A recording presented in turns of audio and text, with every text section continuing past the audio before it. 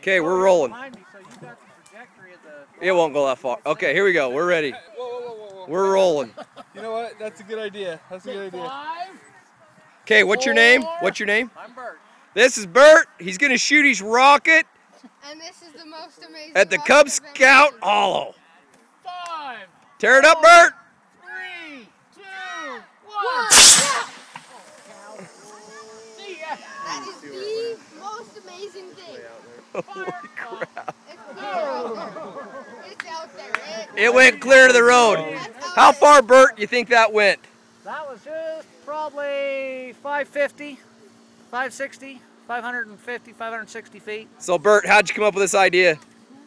Started dreaming. Then all of a sudden put the air compressor to it? Yep. Started dreaming. At, Scouts, they do them with the, the two liter pop bottles. Yeah? Well, I that got me thinking. You soar with the Eagles, so you went all the way, Oh, right? I, I'm I'm an Eagle by Wood Badge, so you bet we go all the way. Fantastic. Thanks for sharing. So what we got, More than welcome. big compressor, comes down to a tube with a valve right there in the box, runs over with an air line to the air compressor. You just flipped that. Okay, Bert, any final words? Have fun.